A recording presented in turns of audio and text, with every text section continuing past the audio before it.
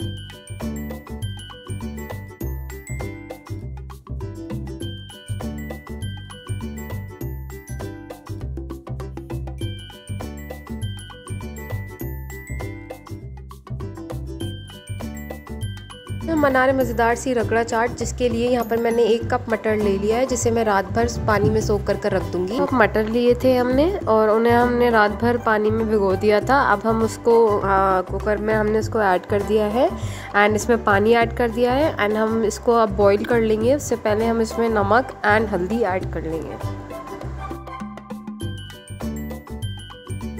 एक कप हमने मटर लिए थे तो उसमें तकरीबन वन टीस्पून हम हल्दी ऐड कर रहे हैं एंड नमक हम टेस्ट के हिसाब से उसमें ऐड कर लेंगे।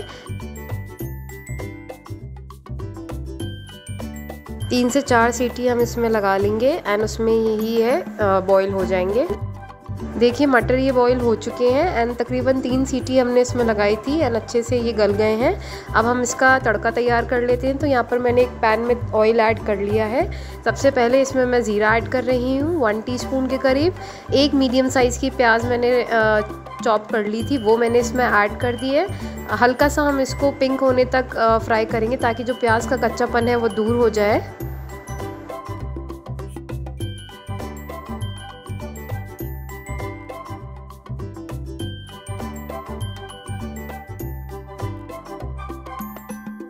देखिए, प्याज हमारी हल्की गुलाबी हो गई है। अब इसमें हम वन मीडियम साइज़ टोमेटो उसमें ऐड कर देंगे, जिसे उसको भी मैंने चॉप कर लिया था।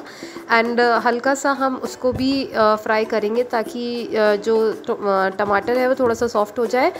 हाफ़ टी स्पून इसमें मैं रेड चिली पाउडर ऐड करूँगी एंड हाफ़ टी स्पून इसमें मैं कोरिएंडर पाउडर भी ऐड करूँगी। इससे क्या है हमारा जो आ, हम मटर तैयार कर रहे हैं उसमें काफ़ी अच्छा टेस्ट डेवलप हो जाएगा। एंड हाफ़ टी स्पून के करीब ही मैंने इसमें हल्दी ऐड कर दी है। हमें ध्यान रखना है कि हल्दी एंड नमक हम ऑलरेडी ऐड कर चुके हैं तो उसी लिहाज से हमें अब ऐड करना होगा। मिर्च आप अपने टेस्ट के हिसाब से कम ज़्यादा कर सकते हैं। यहाँ पे वन टीस्पून के करीब मैंने भुना हुआ ज़ीरा पाउडर इसमें ऐड कर दिया है।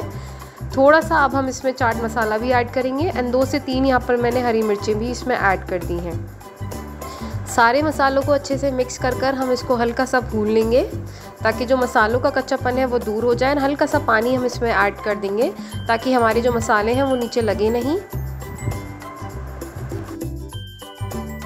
देखिए तड़का हमारा तैयार हो रहा है, अब इसमें मैंने वन टीस्पून के करीब चाट मसाला ऐड कर दिया है। एंड नमक हम ऑलरेडी ऐड कर चुके हैं तो यहाँ पर मैं ब्लैक सॉल्ट यूज़ करूँगी। वो भी मैं टेस्ट के हिसाब से इसमें ऐड करूँगी। तो यहाँ तकरीबन हाफ़ टी स्पून के करीब मैंने ब्लैक सॉल्ट ऐड कर दिया है। आप नमक एंड मिर्च अपने टेस्ट के हिसाब से कम ज़्यादा कर सकते हैं।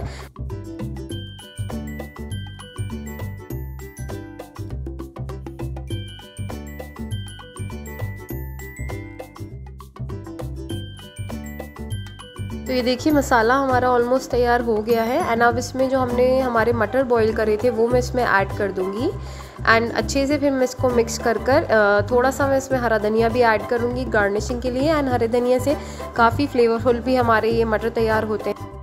कितना थिक आपको रखना है ये आप अपने हिसाब से आ, कर सकते हैं। तो जो पानी हमारे मटर बॉईल करने में थोड़ा बहुत आ, बचा था वही मैंने इसमें ऐड किया है।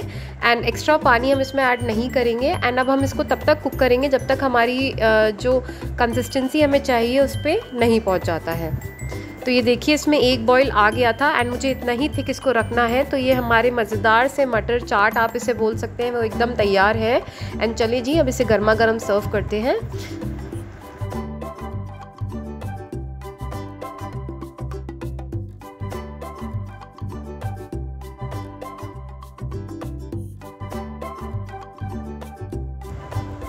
मटर हमारे एकदम तैयार है एंड इसको अब मैं गार्निश कर लूँगी। तो यहाँ पर देखिए मैं प्याज ऐड कर रही हूँ। थोड़ा सा मैं हरा धनिया भी इसमें ऐड करूँगी।